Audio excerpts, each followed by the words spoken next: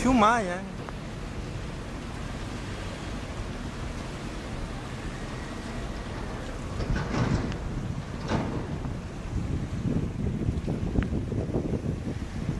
Pô, é um zoom lá das velhas.